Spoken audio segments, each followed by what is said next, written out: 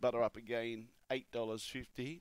And Rocket Barsha is the roughie of the field at $13 on the fix. Green light goes on. No more bets. Set to go for the final here at Murray Bridge. Away and racing. Bangor Lizzie began quite well. Was up there vying for the lead.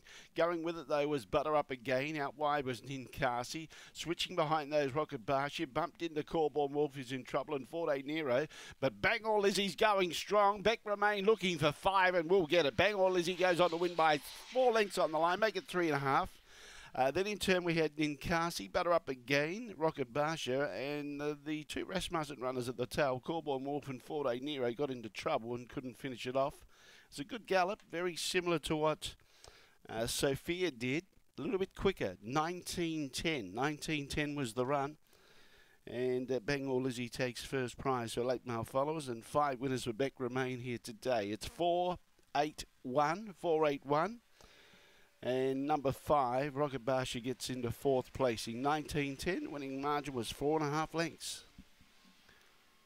Four, eight, one, and five. Four, eight, one, and five.